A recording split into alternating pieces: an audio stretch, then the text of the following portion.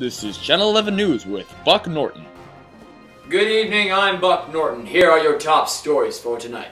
A scientific phenomenon called torque has been sighted in the area. Torque can be defined as the force times the moment arm, the length of the line drawn perpendicular along the direction of the force to the axis.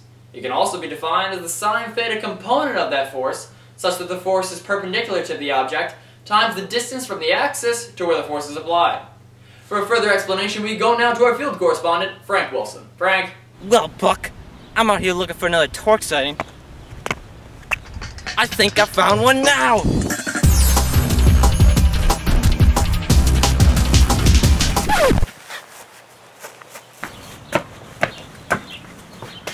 Whoa, Buck!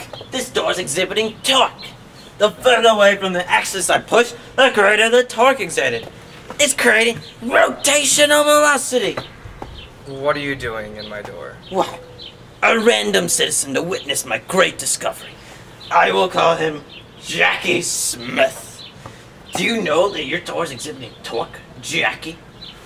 Well, torque isn't exactly new. It's been around forever. How do you know this? Well, according to this physics textbook too, torque is a vector perpendicular to Buck, the plane determined such a by the lever arm complicated and the theory force. cannot be summed up in a textbook. My discovery will go down as the greatest not ever. that complicated. I'm the greatest Channel 11 news reporter ever. They don't Get need off a torque. Frank Wilson's there. Please, I'm the next get off my lawn. Ah! Jackie! Uh, we'll be right back with Frank in just a moment, but first, a summary about torque. Torque is the tendency of a force to rotate about an axis. Torque is a vector quantity with both magnitude and direction. The units for torque is a newton meter. And just like how linear forces create linear acceleration, torque creates angular acceleration. This has been Channel 11 News. I'm Buck Norton. Good night.